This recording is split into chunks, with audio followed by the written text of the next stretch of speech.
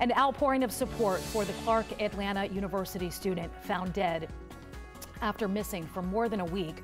Hundreds of Alexis Crawford's classmates gathering for a candlelight vigil last night. It is a story capturing the nation's attention.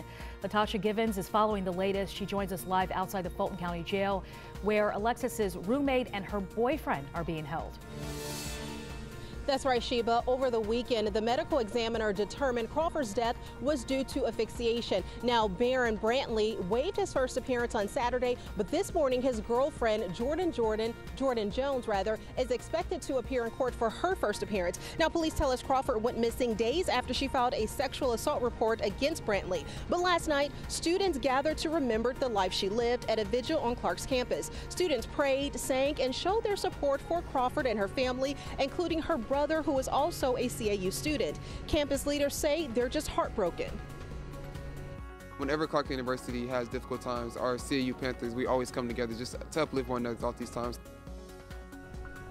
Now, both suspects are being held here at the Fulton County Jail without bond. We'll certainly let you know what happens today in court.